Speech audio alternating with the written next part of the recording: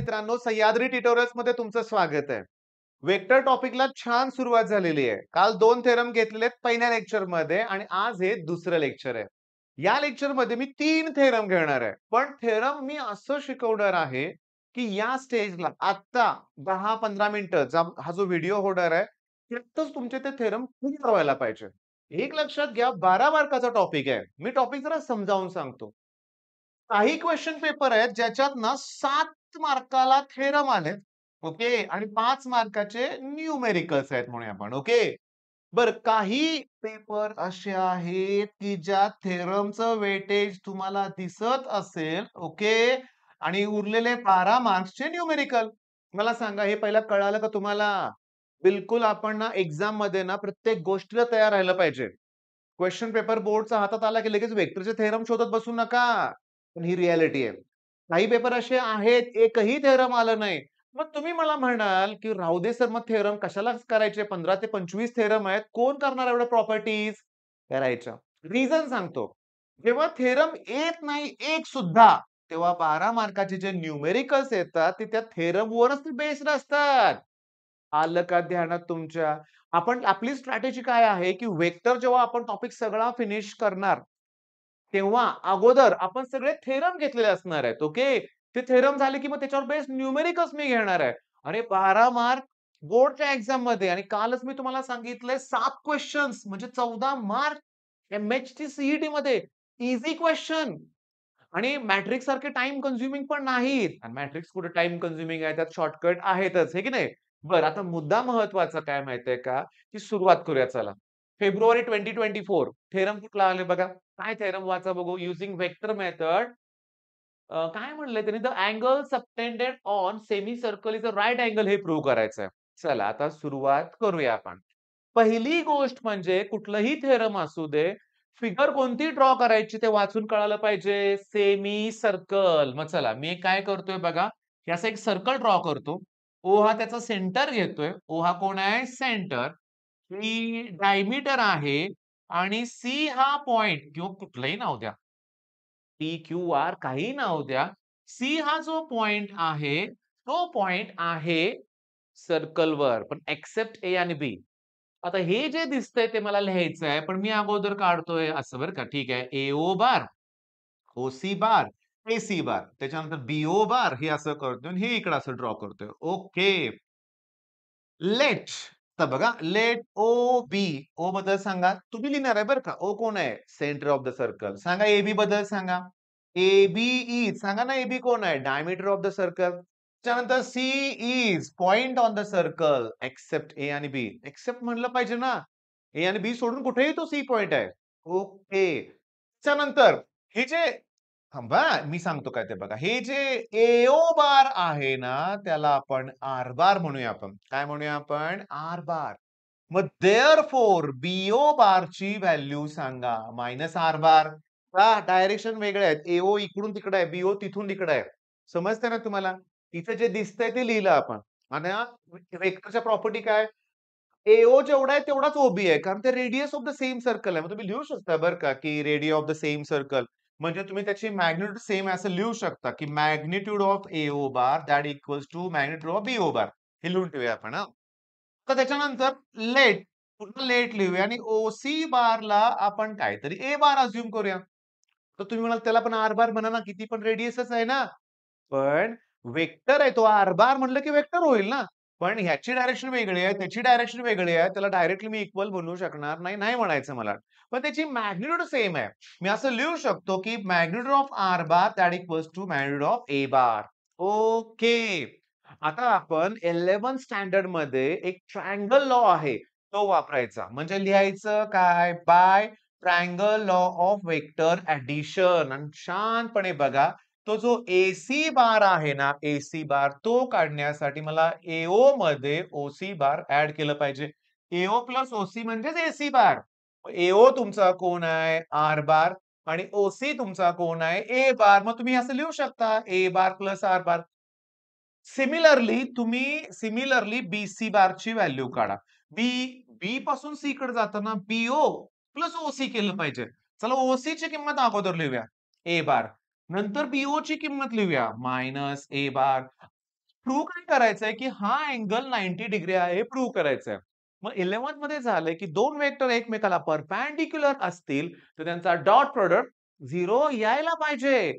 मग आपण काय करूया, की या दोघांचा घेऊया डॉट प्रॉडक्ट म्हणजे एसी बार आणि बी सी बारचा घ्या डॉट प्रॉडक्ट. म्हणजे इथं येणार A bar plus R bar. Okay. A bar plus R bar आणि इथं येणार ए बार मायनस आर बार. ह्यांचा प्रॉडक्ट केल्यावर चार टर्म मिळतील. मधल्या टर्म कॅन्सल होतील. थांबा ना. A bar dot A bar self dot product. Vector same आहेत. मग ए बार डॉट ए बार असेल, तर तो ए बारच्या मॅग्नेट्यूडचा स्क्वेअर होतो. आता A bar dot R bar minus येणार. R bar dot A bar plus येणार. तेव्हा ते कॅन्सल होणार. पण शेवटी plus into minus minus R bar dot R bar. R बारचा काय होणार स्क्वेअर. पण या दोघांच्या मॅग्नेट्यूड कशा आहेत सेम. ओके. ह्याला वाटल्यास इक्वेशन वन म्हणा आणि फ्रॉम वन म्हणा. ह्या दोघांच्या व्हॅल्यू सेम असल्यामुळे डॉट प्रोडक्ट काय आला झिरो मग डॉट प्रॉडक्ट झिरो आला 0 आला की संपलं. मग लगेच लिहायचं मग therefore AC bar is perpendicular to BC bar. Perpendicular की हेन्स शब्द वापरा आणि angle subtended on the semicircle is right angle is proved म्हणा. सिद्ध प्रूव्ह झालेलं आहे. ऍक्च्युली सांगतो बघा. काय थेरम अवघड आहे. आता सांगतो तुम्हाला थेरमच्या बाबतीत अभ्यास कसा करायचा. पहिली गोष्ट म्हणजे हे वाचल्या-वाचल्या माझ्या लक्षात आलं पाहिजे, की मला इथं राईट अँगल 90 डिग्री प्रूव्ह करायचा आहे म्हणजे डॉट प्रॉडक्ट झिरो आणायचा डॉट प्रॉडक्ट कुणाचा? या दोघांचा. मग त्याची व्हॅल्यू काढण्यासाठी मी काय वापरलं? इथं वापरलाय triangle law of vector addition triangle लॉमध्ये 2 side taken in order घेतल्या, की त्याचा रिझल्टंट म्हणजे रिमेनिंग साईड असते लक्षात घ्या. मग व्हिडिओ पॉज करा. लिहून काढा. प्रॅक्टिस करा. किती वेळ झालाय? सहा मिनिटं झालीत लक्षात घ्या. ऍक्च्युली हे 4-5 मिनिटात मी प्रूव्ह करून दाखवलंय. एक्झामच्या हा प्रश्न आलाय लेटेस्ट तीन मार्काला आलाय लक्षात घ्या. पण आता नेक्स्ट क्वेश्चन ना घेतोय ना, ते थेरम खूप सोपं आहे. काय दिलंय? Medians of a triangle are concurrent. Medians of a triangle are concurrent. ही तर डायग्राम बघा व्यवस्थित. सांगा बघू बघून एफ हा एबीचा कोण आहे. मी तुम्हाला सांगतो व्हिडिओ तयार करायच्या अगोदर जेव्हा मुलाला एका मी विचारलं, की एफ हा ए बीचा कोण आहे, तर तो म्हणला मीडियन आहे. एफ हा एबीचा मिडपॉइंट आहे. त्याचप्रमाणे हा बघा सीएफ ही मीडियन आहे. याचा अर्थ एफ मिड पॉइंट आहे, डी मिड पॉइंट आहे, ई मिड पॉइंट आहे. आता ही डायग्राम तुमच्यासमोर आहे. इकडे बघू नका काय. मी तुम्हाला सांगतो. समजून घ्या आता आपण लिहायचं कसं ते बघा. मी असं लिहिणार आहे. पहिला शब्द हा in triangle A B C शांतपणे बघा. ए डी दुसरं मी लिहितोय BE and C F are dot, dot, dot लिहायचं नाही. तुम्हाला सांगायचं कोण आहेत ते? एडी, बीई आणि सीएफ हे कोण आहेत? मेडियन्स आहेत. मग therefore D, E and F are काय आहेत ते? मिड पॉइंट आहेत ऑफ बीसी नंतर AC and A P respectively. त्यामुळे क्रम व्यवस्थित लिहिला पाहिजे लक्षात घ्या. रिस्पेक्टिव्हली. ओके. मिड पॉइंट आता लेट असं लिहूया, की A bar, B bar, C bar, D bar, E bar and F bar are position vector of points A, B, C, D, E and F respectively हे position vectors आहेत हे लक्षात घ्या. आता वापरा मिडपॉइंट फॉर्म्युला म्हणजे मी इथं लिहितो बाय मिड पॉइंट फॉर्म्युला. किती सोपा आहे बघा. जो तुमचा डी बार आहे, तो बघा ना डी कोणाचा मिड पॉईंट आहे? डी हा बीसीचा मिडपॉइंट आहे. मग D bar equal to B bar plus C bar upon two आलं का लक्षात? आता बघा. यांना इकडे मल्टिप्लाय करा. मग two D bar equals to B bar plus C bar. इथे मला बी बार प्लस सी बार दिसतंय. बघा. उरले कोण रे? ए बार. तो दोन्हीकडे ऍड करा. म्हणजे two D bar plus A bar इकडे ऍड करा. That equals to A bar plus B bar plus C bar. चला हे इक्वेशन वन म्हणजे डोकं वापरा. डी मध्ये डी च्या समोर कोण आहे? ए. तो ऍड करावा लागतोय. तर हे महत्वाचं. इथं लिहायचं सिमिलरली. शांतपणे बघा. आता मी जर लिहिलं ट्वाइस ई बार. हे असंच पुन्हा करू शकतो मिड पॉईंट फॉर्म्युला पण कुणी सांगितलंय समजून घ्या ना. E ईच्या समोर आहे बी बार. म्हणजे मी इथं ॲड करणार B bar. That equal to मला मिळणार A bar plus B bar plus C bar equation 2. नाही कळालं? एक्सप्लेन करतो. इथं एक्सप्लेन करतो बघा. चल ई हा एसीचा मिडपॉइंट आहे की नाही? म्हणजे मिड पॉइंट फॉर्म्युल्यानुसार तुम्हाला असं मिळणार. A bar plus C bar upon two upon two तुम्ही तिकडे घेणार. म्हणजे काय मिळालं? ट्वाईस ई बार ओके थांबा दॅट इक्वल्स टू कोण मिळालं? ए बार प्लस सी बार इथं कोण आहे? ए आणि सी राहिलं कोण? बी तर दोन्हीकडे बी ऍड केलंय ना? आपल्याला कळतंय की ईच्या च्या समोर बी आहे ना? तर सांगा बघू तिसरं टू डी टू ई आणि आता टू एफ बार आता सांगा एफ च्या एफ च्या समोर कोण आहे? सी म्हणजे मला इथं सी बार ऍड केला पाहिजे. That equals to A bar plus B bar plus C bar आता मी तुम्हाला ह्याच्या पुढच्या स्टेप इथं दाखवतो. सगळ्यांच्या आर एच एस बघा एबीसी एबीसी एबीसी सेम आहेत. मग तुम्ही फ्रॉम वन टू थ्री काय करू शकता बघा? फ्रॉम वन टू थ्री या तुम्ही सगळ्यांना एकत्र आणू शकताय. त्यांनी एकदम काय केलंय की सगळ्यांना एकत्र आणले की पण दोन्ही बाजूला थ्री न डिवाइड केलंय. इथं पण थ्री इथं पण थ्री इथं पण थ्री इथं पण थ्री. हे थ्री न त्यांनी डिवाइड केलेलं आहे. आता मी तुम्हाला सांगतो. मी एक स्टेप एक्स्ट्रा सांगतो जी इथं केली केले खाली केले. सांगतो. थ्रीच का घेतलं माहितीये का? इथे कोएफिशियंट बघा टू आणि वन आहे. म्हणजे थ्री म्हणजे असतं टू प्लस वन हे लक्षात घ्यावा. बघा हे कसं लिहिलंय? पहिली गोष्ट म्हणजे सगळ्यांना इक्वल करा इक्वल टू जी बार म्हणा. म्हणजे तो जी हा कुठला तरी एक पॉईंट आहे. आता सगळ्यात महत्वाचं हा जी पॉईंट काय करतोय? प्रत्येक मेडियनला म्हणजे एडी ला two is to one BE ला two is to one CF ला two is to one divide करतोय. मग ते प्लस साईन आहे ना म्हणजे तो इंटरनली डिवाइड करतोय. मग तुम्ही एक वाक्य लिहायचं. जर for G divide each median internally in the ratio two is to one लिहिलं असेल कुठेतरी. Each median in the ratio 2 as to 1 hence medians are concurrent. आणि याचा अर्थ काय माहितीये का? की जी पॉइंट प्रत्येक मेडियनवर आहे प्रत्येक मेडियनला तो टू एस टू वन न डिवाइड करतो. याचा अर्थ तो पॉईंट प्रत्येक मेडियनवर आहे याचा अर्थ मेडियन्स कॉन्करंट आहेत ना? पॉईंट कॉन्करंटचा oh अर्थ काय? की ते एकाच पॉईंट मधून गेल्या पाहिजे तोच पॉईंट जी आहे पण थांबा थेरमचा अभ्यास म्हणजे नक्की केलंय काय? सांगू? Mid point formula cross multiplication जी रिमेनिंग साइड आहे ती ऍड कर जी रिमेनिंग पोझिशन वेक्टर आहे तो ऍड करायचा. असे तीन इक्वेशन तयार करायचे. त्यांना कंपेअर करून सांगा कशानं डिवाइड करायचं. थ्री पण थ्री म्हणजे नेक्स्ट स्टेपमध्ये काय लिहायचंय? टू प्लस वन त्याला स्मॉल जी बार म्हणायचं आणि हेन्स म्हणायचं G divide all median internally in the ratio two is to one चला मग मीडियनची प्रॉपर्टी पण झाली की नाही? आता फास्ट झालंय थोडस. ओके तरी पण पाच सहा मिनिटं लागलीच. ओके आता दुसरं थेरम पण मी तुम्हाला एक्सप्लेन केलंय. तर तिसरं. तिसरं थेरम थोडं गोंधळ वाटतो लक्षात घ्या. मग मी तुम्हाला अगोदर क्लिअर करतो. टेन्थ स्टँडर्डचं आठवायचं तुम्ही आणि टेन्थ स्टँडर्डमध्ये हे कुठलं कुठलं थेरम आहे मला सांगा? ऍक्च्युली ना ह्या दोन अँगल इक्वल आहेत म्हणजे हे अँगल बायसेक्टर आहे. पण दहावीतली अँगल बायसेक्टर प्रॉपर्टी वापरा. सांगा A B upon B C A B upon B C that equals to AD upon DC A B upon B C that AD upon DC हीच property वापरून सगळे ratio घेतलेत. कळतच नाहीये मुलांना ते. समजतच नाहीये. समजावून सांगितलं पाहिजे. आणि मी जसं समजावून सांगितलं ना तसं तुम्ही लक्षात ठेवायचा प्रयत्न केला तर बरं होईल बघा. शांतपणे पहिली मेथड मी तुम्हाला सांगतो. ट्रायंगल तुम्ही काढलाय. तुमचा जो ए आहे ना ए बघा. तो जो ए आहे त्याच्या समोरची एक्स म्हणा. बीच्या समोरच्याला वाय म्हणा आणि सी च्या समोर जी बाजू आहे तिला झेड म्हणा. अल्फाबेटिकल याचा order A B C X Y Z पहिली स्टेप कळाली तुम्हाला? ओके आता सगळ्यात महत्वाचं तुमची जे काय नाही अँगल बायसेक्टर आहेत. कोण आहेत? अँगल बायसेक्टर मग हा एडी असेल तर मला असं मिळेल. A C upon A B that equals to C D upon D B मग C D upon D B मग मी काय म्हणतो तुमच्या डोक्यात आलं का बघा की A C upon A B that equals to C D upon A पण एसी ची व्हॅल्यू कोण आहे? वाय बरोबर आहे? याची व्हॅल्यू कोण आहे? झेड याचा अर्थ D divide B C internally in the ratio Y is to Z तेव्हा तुम्हाला बी ला वाय न मल्टिप्लाय केलं पाहिजे सी न झेड ला मल्टिप्लाय केलं पाहिजे आणि खाली दोघांची ऍडिशन केली पाहिजे. हाच तर सेक्शन फॉर्म्युला आहे ना.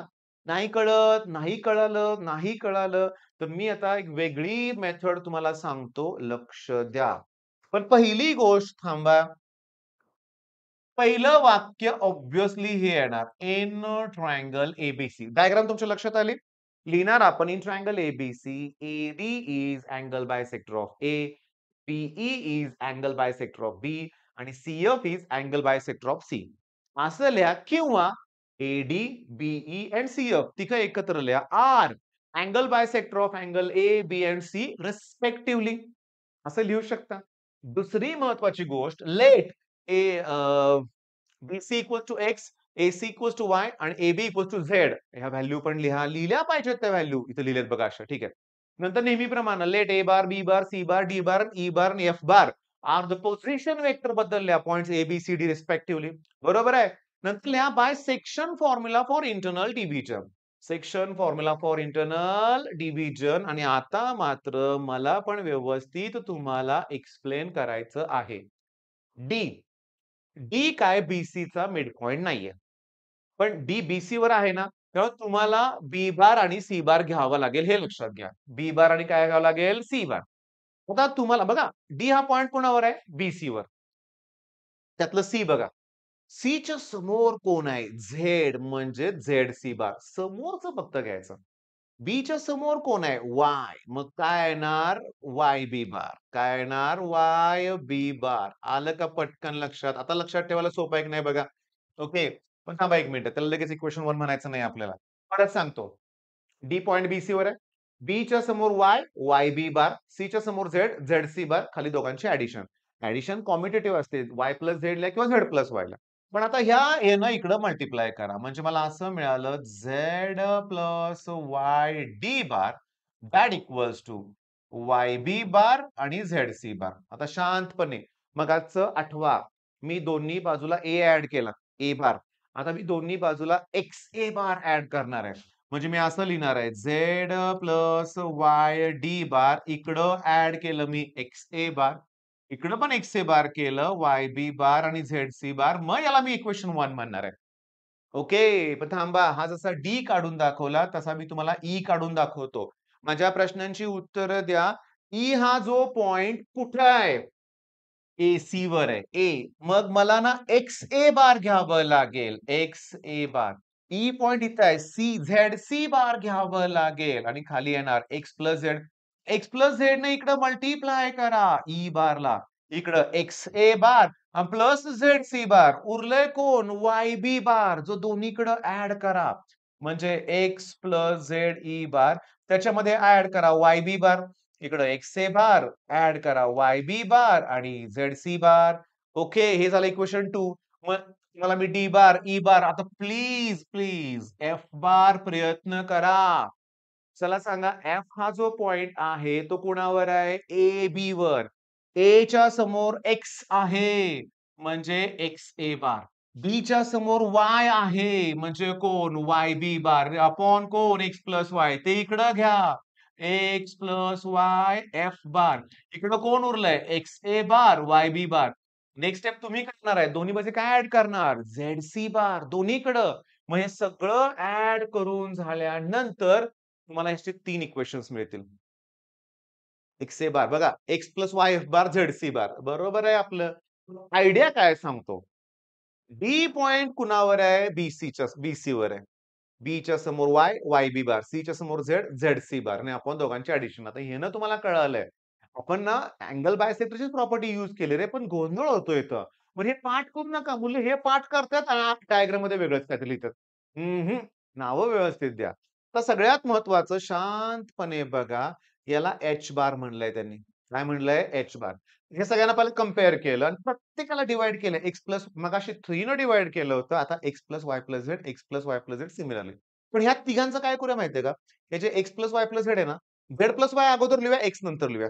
ऐका तो क्रम बदललाय त्यांनी फक्त. पण हा एकाच पॉईंट तिघांना डिवाइड करतोय ना. म्हणजे बघा हा जो एच पॉईंट आहे ना डिवाइड ए डी हा रेशो वेगळा आहे.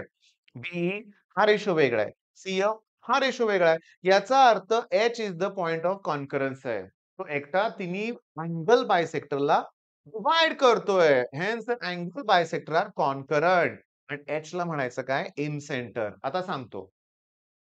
हे थेरम त्याच्या अगोदरचं कुठलं मेडियनचं थेरम त्याच्या अगोदर कुठलं सेमी सर्कल असे जवळजवळ वीस पंचवीस प्रश्न आहेत. या टॉपिकमध्ये आपण एक्सरसाइज असू दे नाहीतर सोडून दिलेले प्रॉब्लेम असू दे. प्रूव्ह दॅटचा प्रश्न आला की तो मी घेणार आहे. आणि तो परीक्षा देण्याचे चान्सेस खूप आहेत. मला तुम्हाला सांगा. हे जर आपण आत्ता परफेक्ट केलं तर एक्झामच्या वेळेस आपला वेळ वाचणार आहे की नाही? त्यामुळे हे एकदा परफेक्ट करा. तुम्हाला बोर्डची चांगली तयारी करायची हे लक्षात घ्या. हे केलंच पाहिजे. तर आपला काउंट झालाय आता फाईव्ह म्हणजे काय?